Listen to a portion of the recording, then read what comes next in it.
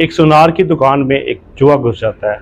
चूहा सुनार की दुकान से एक कीमती हीरा खा लेता है और वहाँ खाने के बाद जो है वो जंगल की तरफ़ भाग निकल सुनार जो है वो शिकारी को बुलाता है। शिकारी से कहता है कि चूहे को ढूंढना है। ढूँढने के बाद चूहे को कत्ल करना है। कत्ल करने के बाद क्योंकि वो उसने जो है मेरा कीमती हीरा खा लिया, उसके पेट से हीरा निकालना है। वो दोनों सुनार और शिकारी जो है जंगल की तरफ़ चल पड़ते हैं। जंगल में जाके देखते हैं तो बहुत से चूहे वहाँ पे मौजूद थे। अब सुनार जो है वो परेशान होता है कि किस तरह से हम जो है इस चूहे को ढूंढ पाएँगे। शिकारी जो है वो नज़र दौड़ाता है तो बाकी सारे चूहे एक अलग साइड पे बैठे होते हैं और एक चूहा जो है वो पहाड़ के ऊपर या पत्थर के ऊपर चढ़ के बैठा होता है, सबसे ऊपर और नुमाया बैठा होता है। तो शिकारी उसका शिकार करता है, उसको कत्ल करता है। कत्ल करने के बाद उसके पेट से जो है वो कीमती हीरा निकाल लेता है।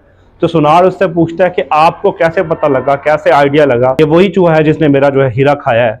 तो शिकारी उसे जवाब देता है कि जब बेवकूफ़ को या कमजर्फ को दौलत मिलती है तो वो अपने आप को बुलंदियों पे, अपने आप को ऊँचे मकाम के ऊपर, अपने आप को सबसे अलग रख के, अलग रखता है, अलग समझता है। इसी तरह मैंने इस चूहे को पहचान लिया क्योंकि वो सबसे अलग एक ऊँचे पत्थर के ऊपर बैठा हुआ था और बेवकूफ़ था।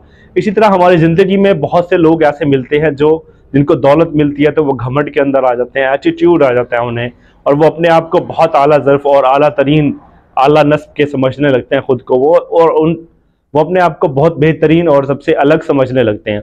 अगर एक्चुअली वो बहुत बड़े बेवकूफ़ होते हैं और अपने आप को कमजर्फ लोगों को दौलत और शहरत जो है वो आसानी से रास नहीं आती।